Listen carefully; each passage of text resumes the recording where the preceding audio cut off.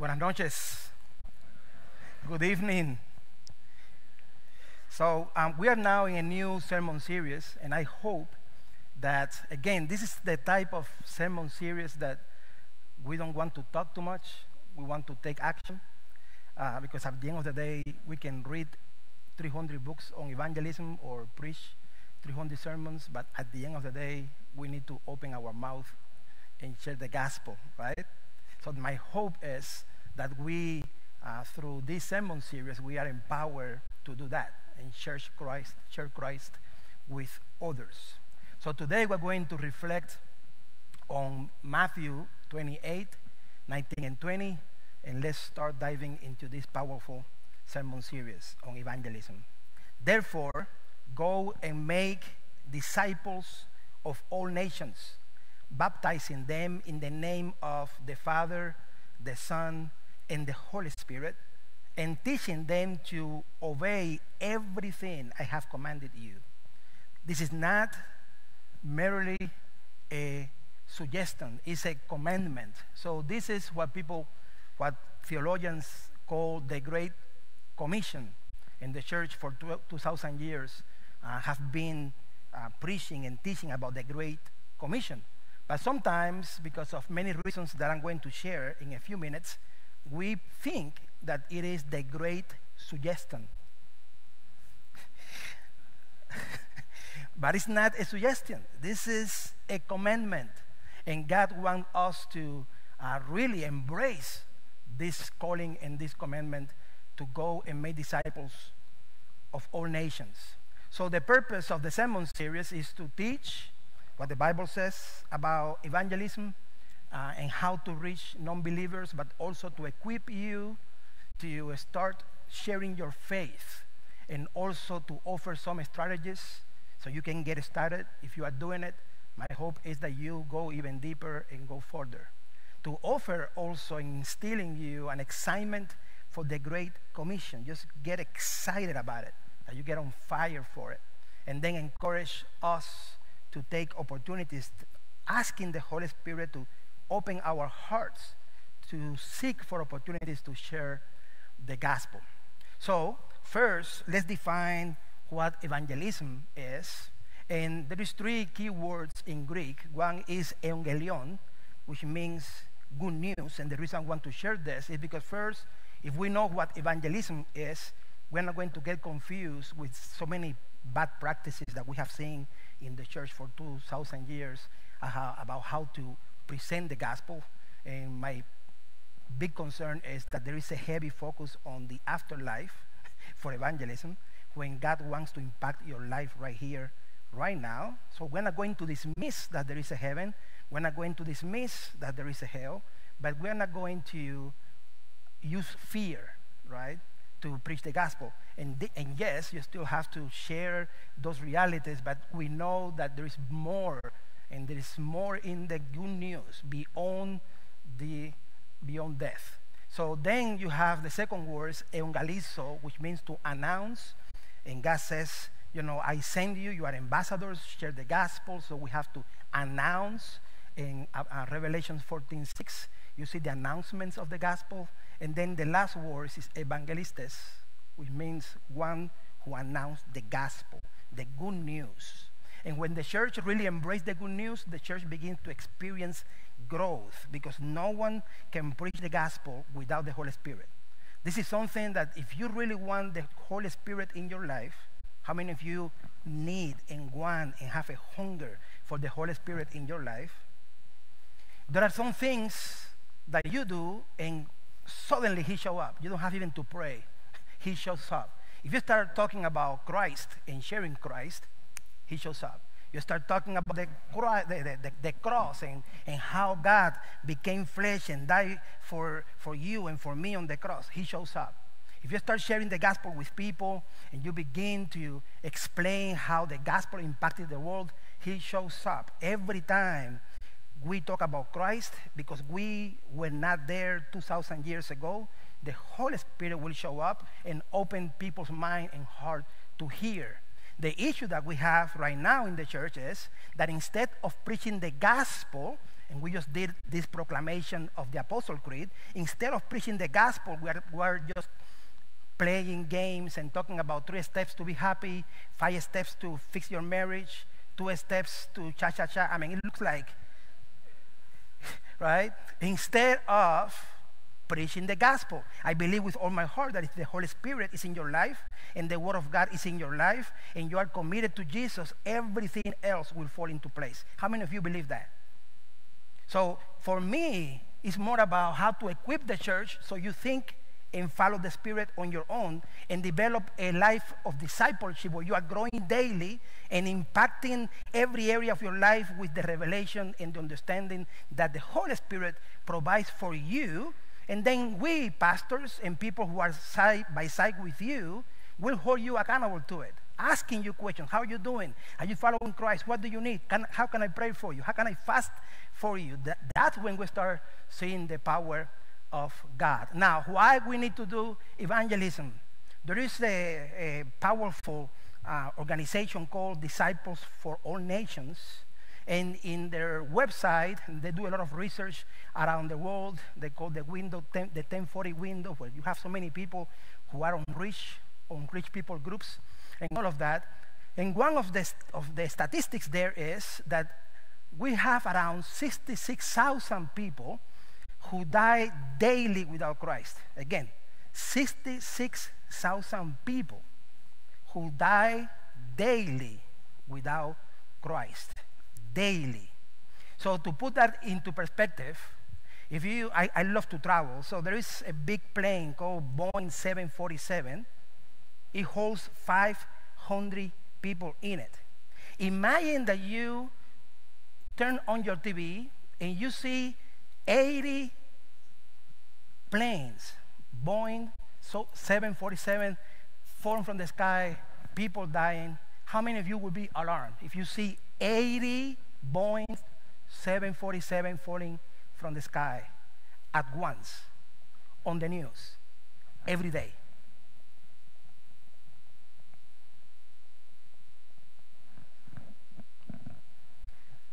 This is why my hope is that at the minimum we have awareness, at the minimum we lose the apathy of going through life without sharing Christ with other people. That you have a, that you leave this place with a burden for the gospel, for the gospel. So, but I also know that we have many challenges, and the idea is to preach the gospel and pray for people and remove these obstacles. I'm going to give you only five, but I know for a fact that you have your own. But this is the most, the most common five um, reasons why people don't do it. Number one is fear of rejection. People don't want to be rejected. People don't want to offend other people, right? But when you have this fear, what the Bible says about fear, that if you spend time with the Holy Spirit, the perfect love of God will take out and push away your fear and deliver you from fear. So it's your love for God, you overcome your fears. Lack of knowledge or confidence. Some people don't know how to start, how to share the gospel. They don't have the confidence. Well, you pray for confidence. You, you pray for the, for the gift of the Holy Spirit. Once you set your heart and your mind on this powerful, great commission, then you begin to pray, God, remove any fear in me. Remove this lack of confidence. Give me the knowledge to share your gospel to the world. Apathy, that one of the big ones. People are so worried about their own life. They're going through so many things that they don't think about anything else. Everything is about me because you are surviving. And the gospel says that Jesus came to give us life and life abundantly, which means that we, sh- we should not be surviving. We should be living and not only living, but living abundantly. Cultural resistance. You have people and you have nations and so many religions, so many things happening. And people say, well, you know, I don't feel comfortable uh, pushing down my religion to other people. You're not pushing anything. You just sharing the gospel and let the Holy Spirit do the rest. You share the gospel. If you don't know this, the gospel and Jesus came uh, 2,000 years ago in, a, in the same context we are in now. So the, the apostles were preaching the gospel in the same context we have now. So many religions, so many people with so many ways of reaching God and reaching heaven. That's not new. So imagine the 12 apostles saying, in the name of tolerance, I'm not going to preach the gospel because I'm going to respect your religion. We will not be here. They went around preaching the gospel, knowing that they have the truth, because they saw Jesus crucified, they saw Jesus coming back from the dead, they saw Jesus after the resurrection. There was no compromise. This is the truth. We're going to preach it. And that's what's today we have all these fruits of the churches. We are disciples, we are a fruit, we are the harvest of this powerful gospel. And I said that to you uh, when I came. I came to Christ in Cuba.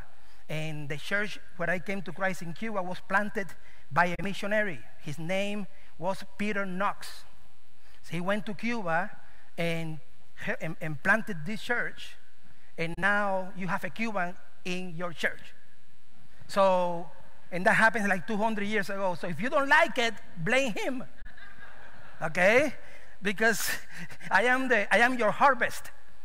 I am your harvest. So God sends missionary around the world, including Cuba, and here I am, 200 years later, preaching to you.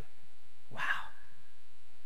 The power of the gospel, the power of preaching the gospel, the power of sharing the gospel with other people. Now, why we should share the gospel? Number, number one, because it's not a suggestion.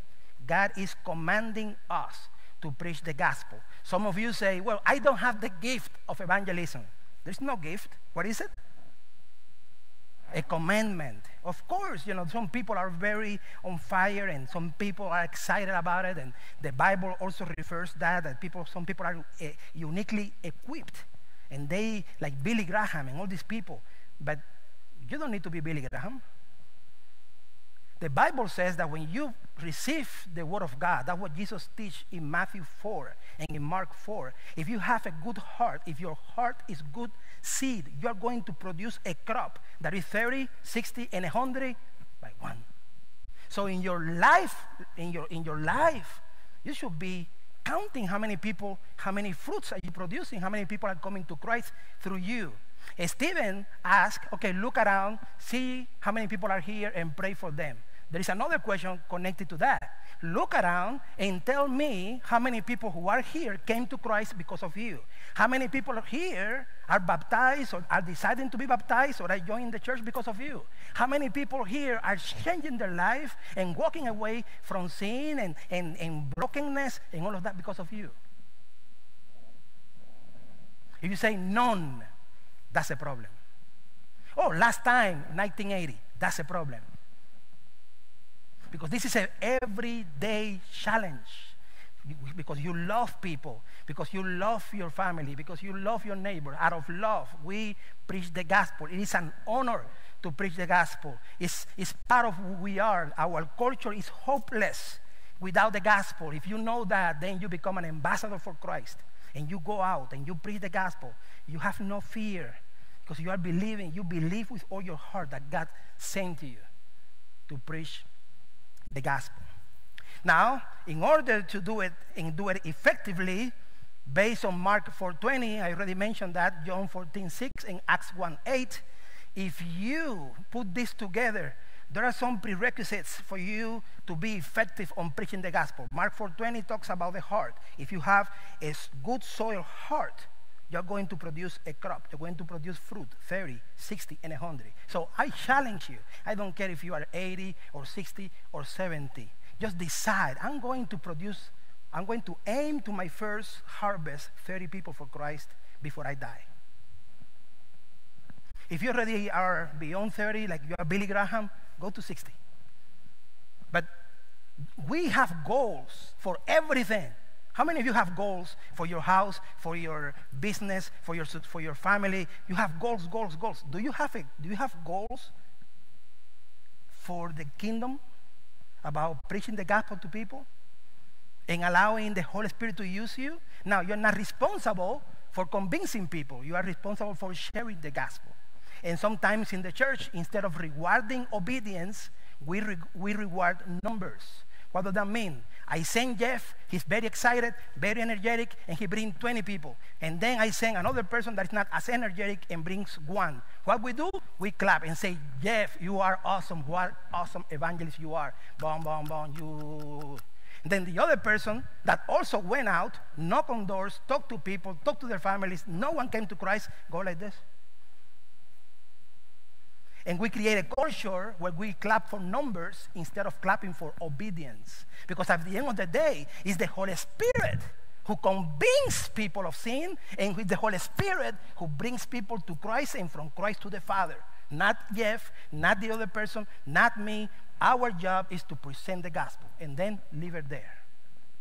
That's it. If you commit to that, God will show up and show up. Now, we need good soul hearts. We need the revelation that Jesus is the way and the life. That's what John 14 says. You have to have that revelation, no doubt. Do you believe that Jesus died for you on the cross? Do you believe that he said, I am the way and I am the life? There is no life without me. That's a powerful statement. No one come to the Father except through me. That's a very powerful statement. Do you believe it? And if you believe it, then you have to share it because then there is no life outside of Jesus. And every time you see sin, you see death. Therefore, the only way to bring people out of death is giving you life, giving them life through Jesus. If that is true, you cannot sleep at night if you're not preaching the gospel, if you're not sharing with other people. This is not for the pastor or for people who are paid. This is for everyone. Everyone. We need the presence of the Holy Spirit. We see in Acts 1 8 that God showed up and said, You are my disciples. Go and preach the gospel. Go and to the end of the earth, receive power, receive the Holy Spirit, and then you will be my witness. In other words, the Holy Spirit showed up in 1 8. Jesus in Matthew 28 sent them, and they were like, Freeze, okay, I need to go, I need to go. Jesus went to the cross, he died, and everybody was freeze. No one did anything. Jesus sent them and then says, wait in Jerusalem until the Holy Spirit show up. After the Holy Spirit show up, it was so easy to share the gospel. So, in other words, without the Holy Spirit, impossible. All these fears, all this lack of confidence, all of that come from what? For from not spending time with God.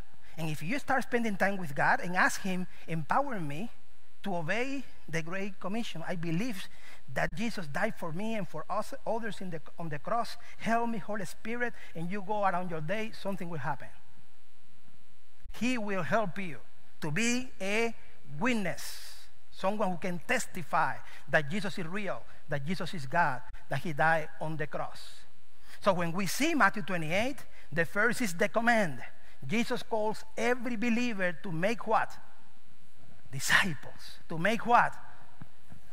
There is a big difference between a disciple and a believer. A believer comes to church, sit down, next Sunday, check. Next Sunday, check. A disciple is one that goes around. That, that the word disciple is the word matetes in Greek. Someone who is like his master.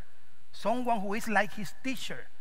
That person will live out what he received. He put it into practice. And therefore, when you see this command, go, it's an imperative in Greek. It's go as you go, you do. And what does that mean? I mean that when I go to, to the bank to deposit my check, I'm not going to the bank to deposit my check. I am full of the Spirit. I'm looking for opportunity. I'm a disciple. And as I do that, then I go to the bank. If you go to the groceries, same thing. You go to the store for groceries, same thing. You are going in mission, and while you do that, then you go to the gas station, then you go to the groceries. That's a whole different mindset. You're looking for opportunity to share the gospel.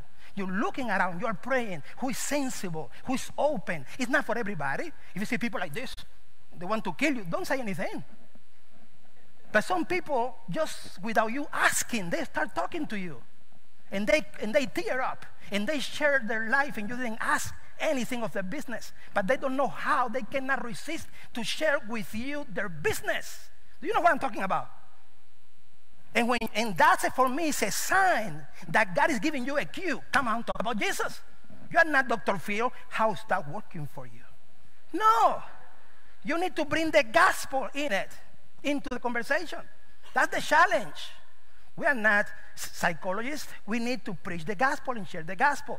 So then, we apply this, we need to recognize that we have a, a role in spreading the gospel.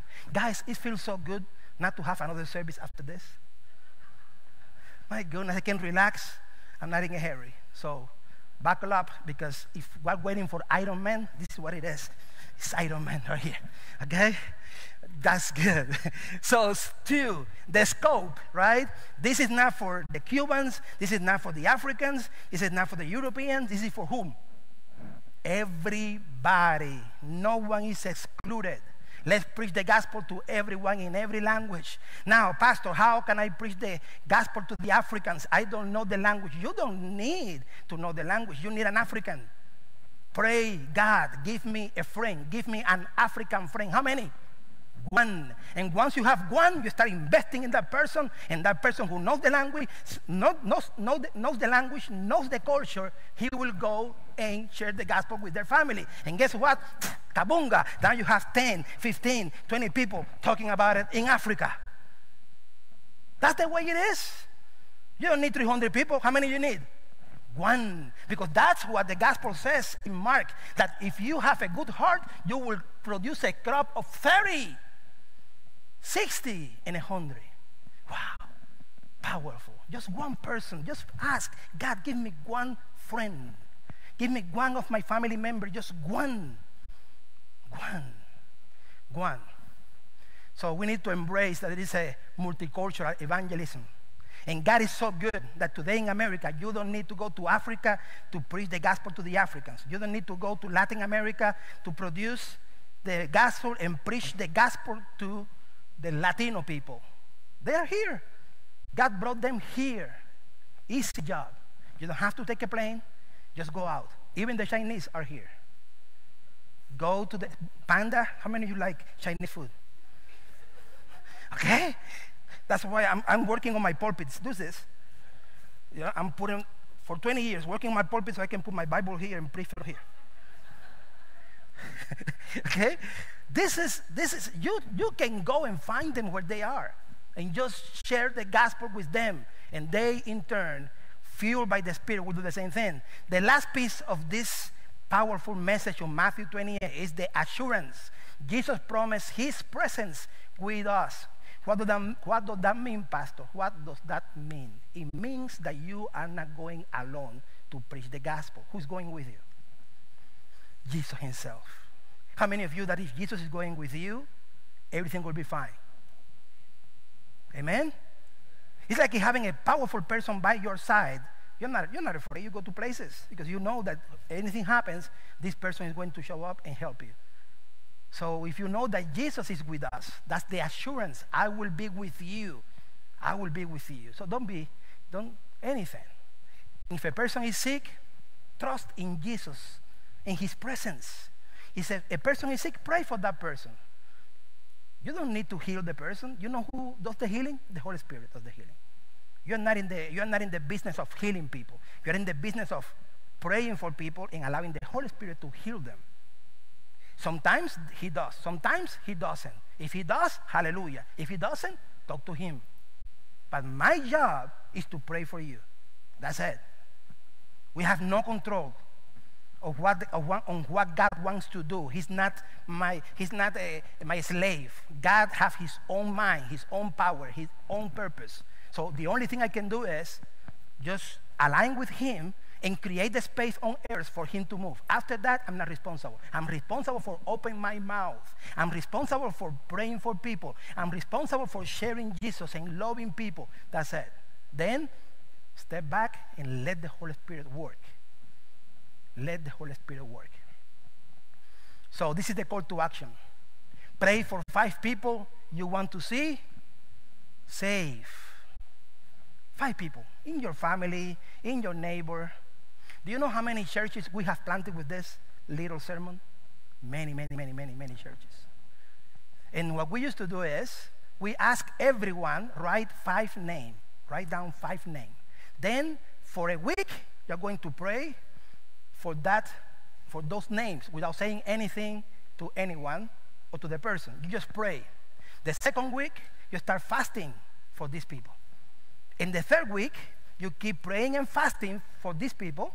And then by the third week, in, the, in week number four, what you're going to do is you're going to call them and just have a conversation with them and see if the Holy Spirit is already moving. If the Holy Spirit is already moving, how do you know that? Because the person will begin to ask you spiritual questions or sharing their life with you. That is, that's a cue that the Holy Spirit wants to save and is ready. And the harvest, the person is harvest ready because they get interested for spiritual things. Then you know. And then you share the gospel if you do that. And then, boom, you have a harvest. Little by little, you start doing that now, and God will do the rest. So let's, can you raise and put in your face and as the band worship, I really want to ask you that you worship and ask, invite the Holy Spirit to remove any fear, any obstacles that you might have. And start thinking of people in your family, your co-workers' names, and begin to present those names before the Lord and ask God for an opportunity to share the gospel with them. Let's worship, and as we do that, God will speak to us, to our hearts. God bless you.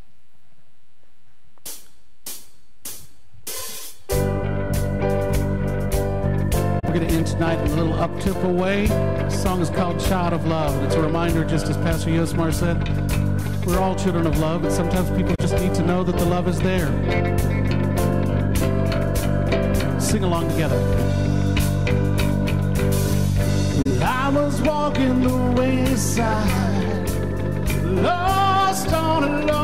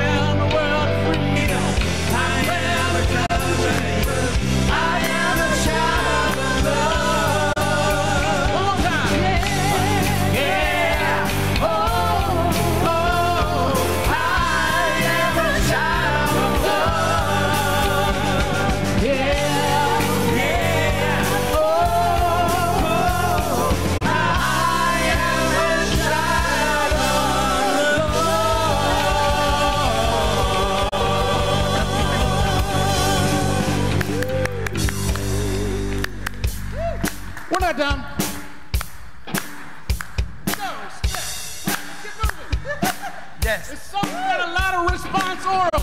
When I sing, everybody praise the Lord, you sing it back. Here we go.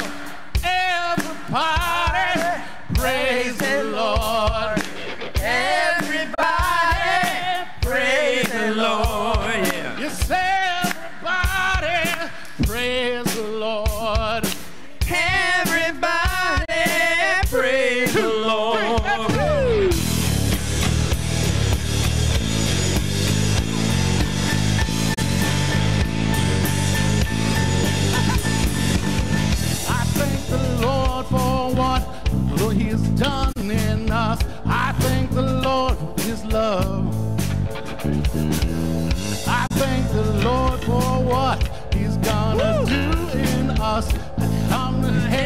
Above. Yeah. I thank the Lord for the smile that He put on my face. I thank the Lord for His grace. I thank the Lord for what He's gonna do to me. Cause I know that I am really set free. Well, everybody, everybody, everybody praise the Lord.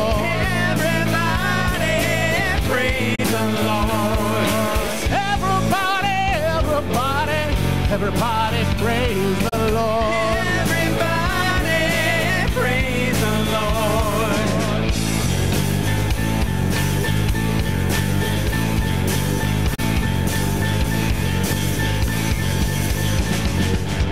I thank the Lord for what He's, He's done in us. I thank the Lord for His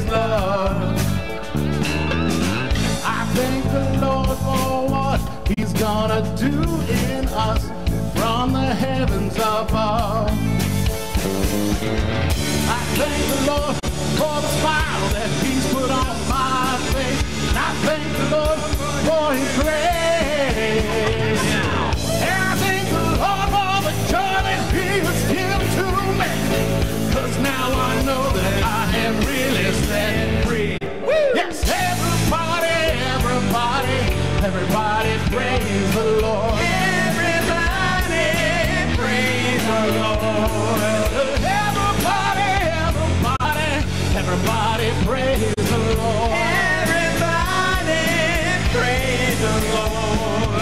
Everybody, everybody, everybody praise the Lord.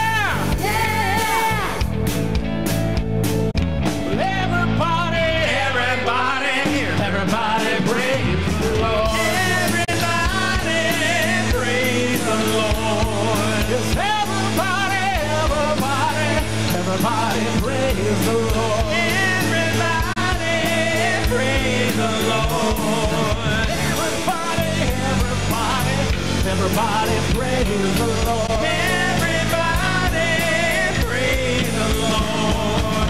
Everybody, everybody, everybody praise the Lord.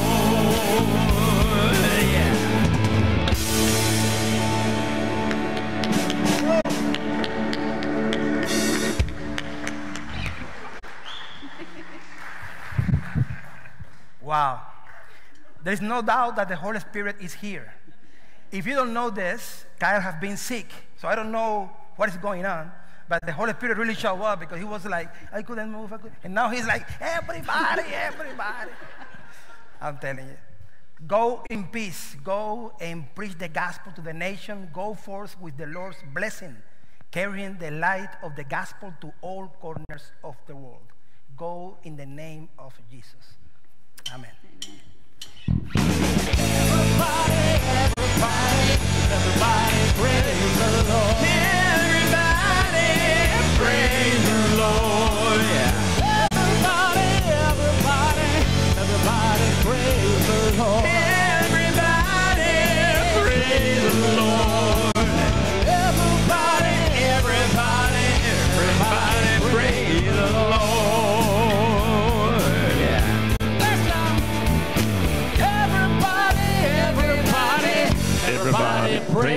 Everybody,